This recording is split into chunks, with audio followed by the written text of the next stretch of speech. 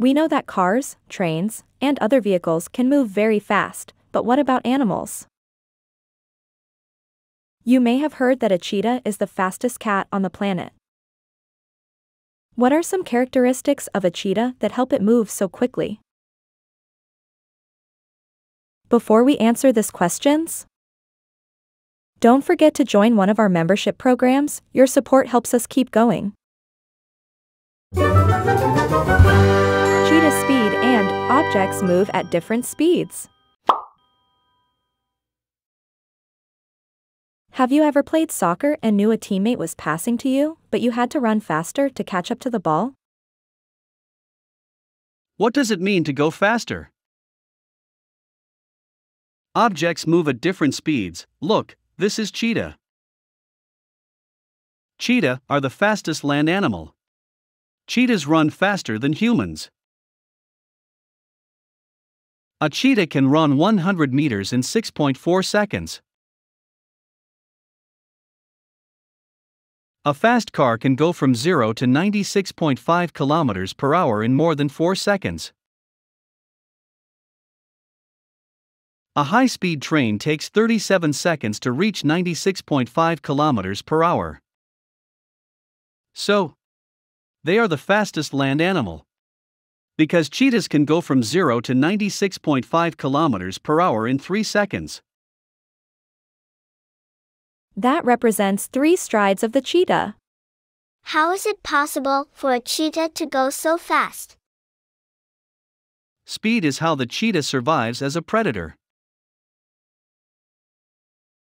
That speed is the result of some very special physical characteristics. Cheetahs run with their claws out to better push off the ground.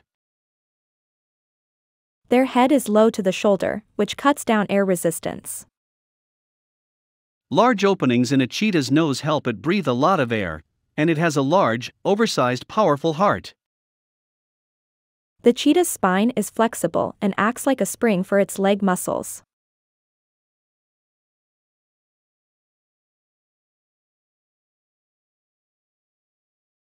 He also has a big heart.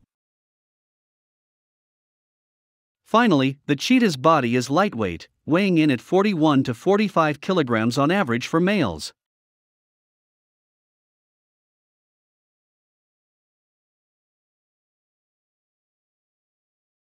Cheetahs are the fastest land animal. How do you know which is the fastest one? The fastest is the one who travels a longer distance in the same amount of time. Look to this example. The ball 1 is faster than ball 2. It moves longer distance in the same time. 10 seconds. Using a timer or stopwatch to keep track of your time, you could walk up and down a soccer field in about 4 minutes. The fastest runners in the world can run about 15 soccer fields, or about one and a half kilometers, in 4 minutes. Horses are even faster. They can run up and down 15 soccer fields or Oregon about 3 kilometers in 4 minutes. A car on the highway can go twice as fast as the horses or about 6 kilometers in 4 minutes. To go even farther in 4 minutes, catch a ride on a rocket. Rockets go really fast after they blast off. About 400 kilometers in 4 minutes. A runner, horse, car, or rocket might all travel for the same amount of time but go different distances. How do you know which is the fastest? The fastest is the one who travels a longer distance in the same amount of time. The rocket is the fastest. You are excellent. Please like and subscribe to my channel and click the bell icon to get new video.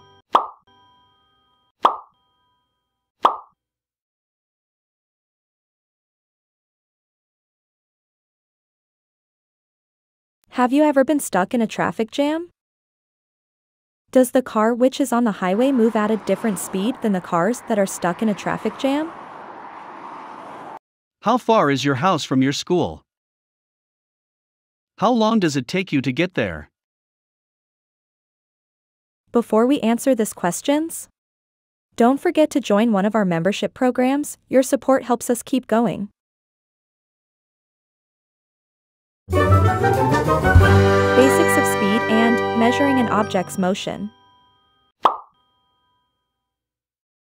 If you had been stuck in a traffic jam, you remember that your car was moving very slowly. Objects move at different speeds around us all the time. Speed is a measurement of how fast something is moving. Speed measures the distance that an object travels over time. The speed of an object is the same no matter which direction it moves. Can you tell me an example? If the, the car A move 10 meters backward every 5 second. Car B moves 10 meters forward in 5 second. The speed of both car is is still 10 meters per 5 second. Speed is displayed in units of distance over time. Therefore, to calculate an object's speed, divide the distance it travels by the time it takes to travel there. Speed is defined as distance per unit of time. Some common units of speed are meters per second and kilometers per hour. We often see speed in units of kilometers per hour. To compare the speed of one object to the speed of a second object, measure the distance both objects travel in a given period of time. The object that travels the greater distance in the same amount of time is moving at a greater speed. If a car travels 6 kilometers in 1 hour and a second car travels 9 kilometers in 1 hour, the second car is moving at a greater speed. Another way to compare speed is to see which object moves a given distance in the smaller amount of time. Imagine two runners racing 1000 meters. The runner that finishes in less time is faster. He has the greater speed. How far is your house from your school? How long it takes to travel a distance depends on how fast you are moving. If you walk somewhere, it will take you longer to get there than if you travel on a faster moving bicycle. Something that moves as quickly as an airplane or high speed train can cover a long distance in a short period of time. Speed is the measurement of how fast something is moving. Faster moving things have higher speeds, and slower moving things have lower speeds. You can find the speed that something is moving by doing some simple math. First, you must know the distance traveled. Then, you need to know how long it took to get there. To find the speed, you divide the distance by the time. If your school is 3 kilometers away and it took you 1 hour to walk there, your rate of speed would be 3 kilometers per hour. A bus traveled 600 kilometers in 6 hours. The average rate of speed would be 100 kilometers per hour. You are excellent. Please like and subscribe to my channel and click the bell icon to get new video.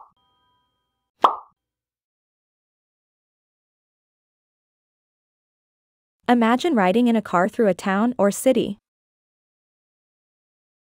The car speeds up, then slows down, then stops, then starts moving again. How to change the speed of the car? Before we answer this questions, don't forget to join one of our membership programs, your support helps us keep going. Changing speed. If you want an object to move faster, you must give it more kinetic energy. If you want it to go slower, you must reduce its kinetic energy. You have learned that forces make things move. When a force is used to push an object, the speed of the object depends upon the force used. The more force applied to an object, the faster it goes. The faster it goes, the more kinetic energy it has. Let's think about how this works in a car. If a driver wants a car to go faster, she presses the gas pedal. This sends more gasoline into the engine. This allows the engine to convert more chemical potential energy in the gas into kinetic energy in the engine. This kinetic energy provides the force that turns the wheels faster and the car speeds up. What if the driver wants the car to slow down? If she takes her foot off the gas, the car will slow down and eventually roll to a stop because of friction between the tires and the road. If she presses the gas pedal less, the car will also slow down until the car reaches a slower speed. You are excellent. Please like and subscribe to my channel and click the bell icon to get new video.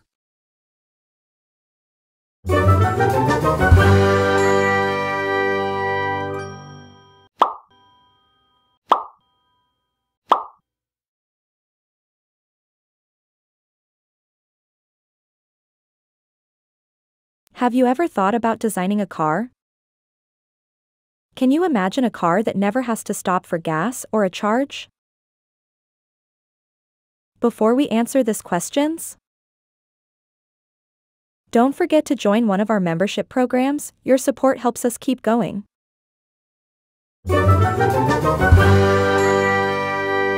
Solar and electric vehicles. Most cars run on gasoline. The use of fuel and the exhaust it produces contribute to climate change. Electric vehicles have batteries that must be charged. Can you imagine a car that never has to stop for gas or a charge? Mechanical engineers are designing vehicles that run on nothing but the sun. Solar vehicles don't need fuel. Solar vehicles don't need to charge their batteries using electricity. Solar vehicles don't cause air pollution or climate change. But there are, of course, some difficulties. At this time, the amount of energy we can capture from the sun is not as great as the amount of energy we get from gasoline or an electric battery.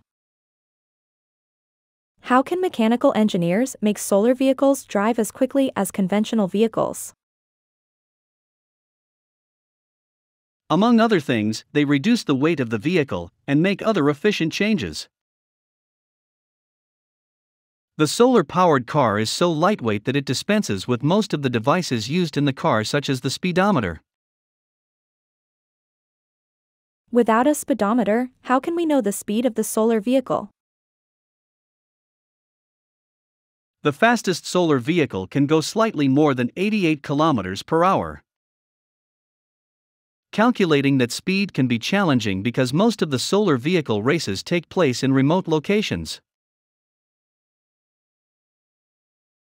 And in most cases, the solar vehicles do not have speedometers. How would you do it? We need to know the time and the distance it traveled. You are excellent. Please like and subscribe to my channel and click the bell icon to get new video.